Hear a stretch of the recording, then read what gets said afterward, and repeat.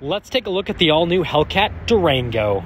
Powering the Hellcat Durango is a supercharged 6.2 liter V8 that puts out 710 horsepower and then 645 pound-feet of torque.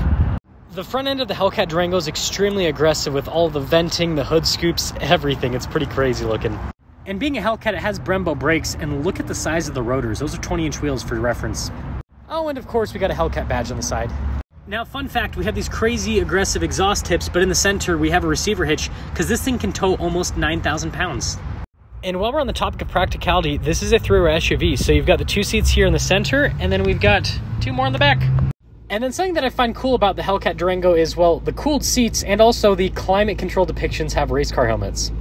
But the icing on the cake is actually the drive mode select. You guys can see all the drive modes here in a row, and notice that we got an eco mode off in the corner. It's really small. They're like, ah, we had to do it. Full review linked in the description.